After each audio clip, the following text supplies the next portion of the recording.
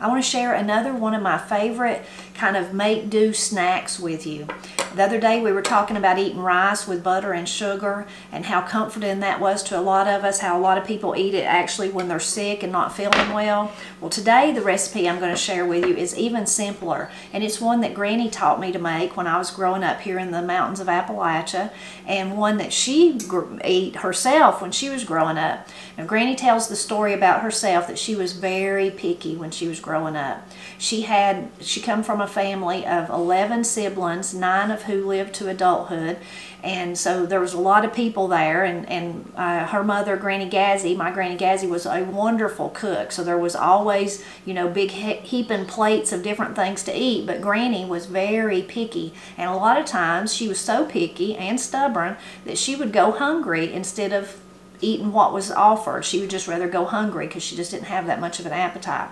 But one thing that she could always eat was an Irish tater. Irish potato, white potato, what we call Irish potato. It's just a white potato and she would slice it really thinly and of course those were in the days when they had wood cook stoves and wood stoves to heat with and she would lay it on the top of the stove and let it brown on one side and then flip it over and let it brown on that side then she would sprinkle them with salt and she would just scoff them up and they were so good. She said that was what she would eat when she could think of nothing else that she wanted to eat and nothing else that was offered that day on the table that she wanted to eat. Well, after she was grown and married, then she started making them, and that's how she taught me to, in the oven on broil. put your oven on broil. Well, first step is, um, I've got a baking sheet here. I've got bought some oil, olive oil on it, but you could use whatever kind of oil you want. And then the first step is you got to slice your potatoes pretty thinly. So I have a mandolin. That's what I like to use. You can use a knife if you um, if you want to. That works well too. You just need to get them. It's a weird thing. You need to. It's one of those things you got to kind of play around with. You want to get them thin enough where that they cook pretty quickly because you're broiling them uh, but not so thin enough that they just melt into the pan and stick. So it might be something that you kind of get have to play around a, a little bit with. And then once you do that, then you just lay them out on your on your uh, baking sheet there. You can sprinkle them with whatever kind of seasoning you want. I like just salt. That's just what I use. And you can also try using, I have a sweet potato here. I'm going to try a few of those, although normally I, that, I would not do that. I would just use the, the arch potato. And these are so good as a snack, as I said, with some ketchup, some mustard. I like to eat them that way. But also, they make a pretty good accompaniment to uh, a din you know, dinner or supper. So if you're having maybe hot dogs or hamburgers or something like that or anything that you wanted kind of some fried potatoes with but you this is kind of a quick alternative to doing to actually frying them or going the deep fryer method so now I'm gonna get me some salt sprinkle them now the thing about doing them in the oven broiling them is that you have to really watch them because it just takes, it's like you'll think, well, they're never going to get done. And then all of a sudden they're, they're brown or almost black. And so once the top part that I, I began to see that they're brown on top, I flip them over. And they will kind of uh, bubble up, kind of get little air pockets in them. Mm, that's the really good part. So it, I can't really say how long it takes because your oven's likely to be different than mine and maybe the thickness of your potato, but it's just one of those things that you've really got to watch even though it doesn't take that long. So now I'm going to get these in the oven.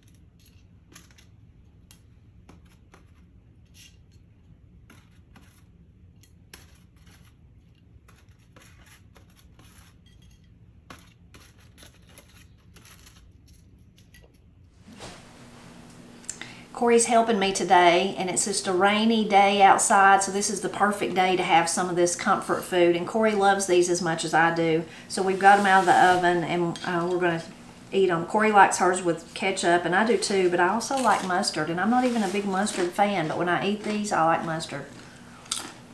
Mm. I was always excited when Granny made these when I was a kid for a snack. They're so good. Really good. So now you need to try the, I've never tried the sweet potatoes like this, so we'll try those.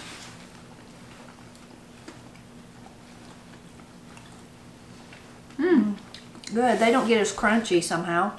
Mm-mm. But they're good. They would be good with like dipped in some kind of sweet sauce or something. Mm. But the others are so good. Thing about it is, is you can't stop eating them. Yeah, this will be our dinner for today. Basically. Mm -hmm. mm.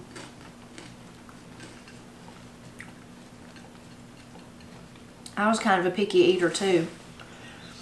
So even today, sometimes I have trouble. If I can't think of exactly what I want to eat, then I'm just not interested in eating. I know that kind of sounds silly. I think Corey's like that too, and Katie. Like that. But when I, this is one of those things I could eat. I mean, I could think, well, I could make some of the oven fries or oven potato chips and then make me a piece of toast or something, and then that would be a meal. I could eat that. It's always good to have things like that in your back pocket. Mm-hmm. Recipes, I mean, Mm-hmm. things to cook. So we hope you enjoyed seeing one of our favorite kind of snacks that we make here in the mountains of Appalachia that Granny taught us. And I'm sure someone taught her that when she was a picky girl growing up in the uh, there in the Culberson area. I'm sure she didn't come up with it on her own. I guess Granny Gazzy taught it to her. But we hope that you enjoyed it. If you're familiar with this and this is one of your favorite foods, we hope you'll leave a comment and tell us about it. And if not, we hope you'll try it. And as always, we hope you'll just keep dropping back by to help us celebrate Appalachia. I don't know. Crazy. I'm good, Mama. Make me stop. I'm not. I gotta eat them. And there's a crunchy one. Crispity, crunchity. These got crunchier on this pan. It's Mm, generous those are because good. usually it's vice versa. I know, that's my... It's a wonky pan, but it's my favorite. But I just know that they got more crispy in this pan. They're better crispy on this pan, ain't they? Yeah, but only one. I mean, that's the pan Oh. that we usually. Those are really good. Mm-hmm.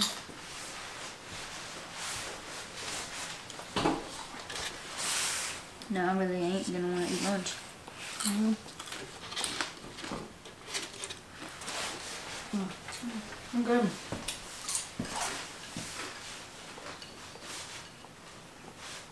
Very good.